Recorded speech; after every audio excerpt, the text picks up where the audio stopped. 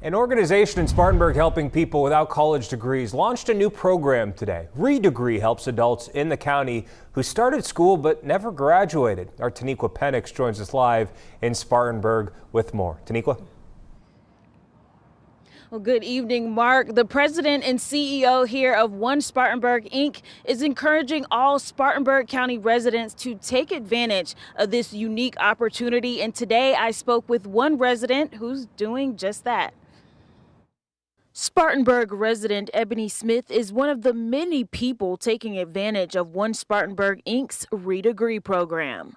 I cried because it was a blessing. Um, I had took a semester and I signed up for four classes. Smith tells me she never finished school because she had young children. Now that my children are older, I have more flexibility to go back to school. So it's been an easy process because before it was almost like employment or school because I had to work full time being a single parent. Their findings show nearly 48,000 adults across Spartanburg County have some college experience but never graduated. We view it as an opportunity. Uh, frankly, we view it as an opportunity to change degree attainment at a rapid pace as well.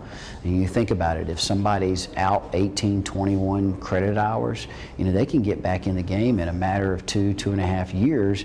President and CEO of OneSpartanburg Inc., Allen Smith, says they navigate students through the whole process and offer financial assistance. Well, I felt like without a degree, um, people wouldn't take me serious.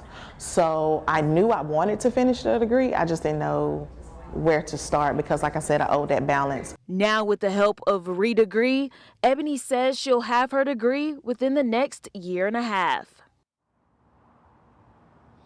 And I'm told the process to sign up is super simple. And for information on how to sign up, you can log on to our website at WYFF4.com. For now, reporting live in Spartanburg, Taniqua Penix, WYFF News 4.